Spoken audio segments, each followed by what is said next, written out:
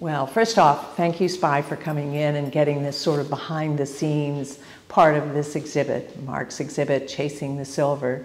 Um, as many people know who've heard about it, it's about uh, the 40 years that Mark has painted the America's Cup, the Whitbread races, uh, the Global Challenge, the Star Boats, all of the racing boats, if you will, other than the log canoes, but we have a plan for that.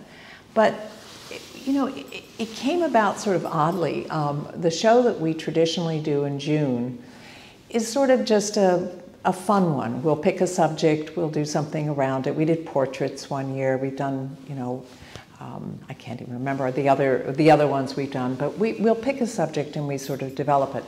The main show that Mark does is always the last week in October, and it's done in conjunction with downrigging, and that's where all the new work is. In this particular exhibit, the paintings um, start in 1987 and they go to 2016. So there's no new work. This is really work that we were able to borrow and, and to find in back files and produce this retrospective. Now, did you work with him back then? I mean, how did that I've been working with Mark for over 30 years, but no, I didn't. Um, at that time, he, he had been working with the Mystic Maritime Museum in uh, Connecticut, and J, uh, Russell Jinishian, um, who was a curator and very, very well known in the maritime art world. Um, he had Mark's work up in his galleries in the Connecticut area, and he was particularly interested in the big races. So he, he never really showed Mark's Eastern Shore pieces, but the races definitely, because that was sort of his clientele. I think he did some work with Sea History magazine and others. But we did, I think Mark forgot that he had these paintings up there because I guess just this year Jinishian said, Well, I have some things I'm going to send back to you. So this mother load of wonderful paintings arrive. Mark brings them in and shows them to me. I'm kind of like, Well, hell, um, why, don't, why, don't we, why don't we do something around this? And so from those early conversations, you know, I realized that, and Mark too, that he had, he had work that went back to 1987. He went through his files, and I had some pieces tucked away that he had, he had somehow or another given me. Um, and then we realized we had clients here that we could borrow pieces back from.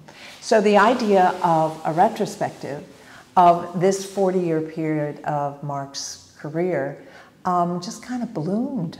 And, and before we knew it, I mean, there's some 64 pieces of work in this show. And Mark has shown for the first time, in all these years I've known him, he's never shown his pen and ink drawings. Uh, he's never shown his, his cartoons. He has the most wonderful, they're not political, but they're, um, they certainly are political about the races he's been involved in and the people he was involved in with. Uh,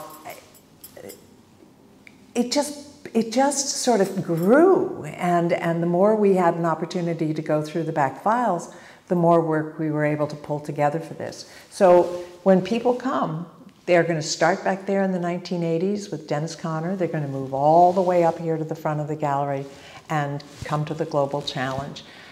But all of that is great, and anybody who's interested can go to the website and they can. Uh, we, we have a beautiful interview that's going to be published shortly where Mark talks about every one of these paintings. Um, and that's interesting and exciting, and I encourage people to go do all that and come in and see the show. But for me, for me, this show has a very, very different quality. I've had a gallery for some 30 years, and for 30 years I've represented Mark. And in that time period, I've had so many artists that I've worked with, and I've had the opportunity to see them to see them grow to see how their styles change, to see what their subject matters are, to, to be part of an artist's life, if you will.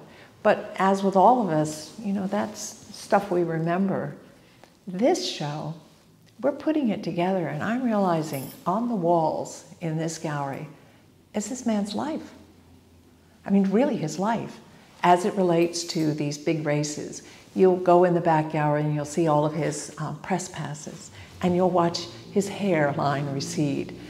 And that's a funny story, but, but it also is how many of us really get the chance to look back on a 40 year span of our careers, to walk in a room and have it be on the wall, to have memories connected to every one of these paintings of the people that they worked with and interacted with.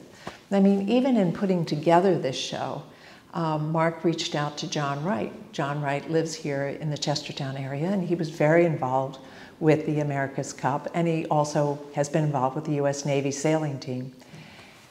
And Mark and he sat down and, and went through the paintings, and John would say, "Oh, this is going to really show, you know, how this race is handled, or what technique is being used here, or what the men are doing." And that was exciting because it's technical. But then Mark would also be looking at them and thinking about the stories behind it and how he felt as this, when he started, young painter out there learning. Some of his best stories are about how the photojournalists that he went out on the boats with um, shared with him their techniques, how to get a good shot, um, the friendships that he made. Almost every opportunity that he had to do this work came from a friend of a friend or an introduction. That generosity of spirit that I often see among artists, where you, you provide that next introduction, that next introduction. So he was able to continue to follow this particular subject. So it's a subject. Um, he's using his medium of watercolor. But to me, the most exciting part is his life. Each, each one of these paintings is an aspect of Mark's life.